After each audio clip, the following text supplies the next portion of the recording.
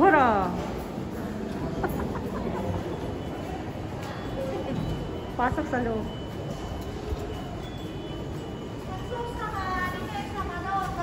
Ay, pasok na kami.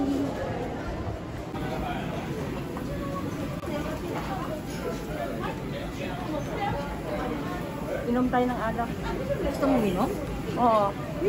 Para pag uwi natin, sing.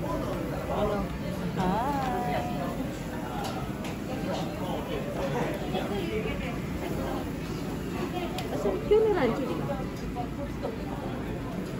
Saan kami pupunta yan? Yan, City Hall yan, dyan, yan, Mangingi yan. ng pera. Manghingi kami ng pera. ang layo na. Ang layo, grabe. Buti na lang kumain kami bago pumunta. Naglakad. Para mahilis yung kinain namin. Pagkatapos namin kuha ng pera, kain naman ulit.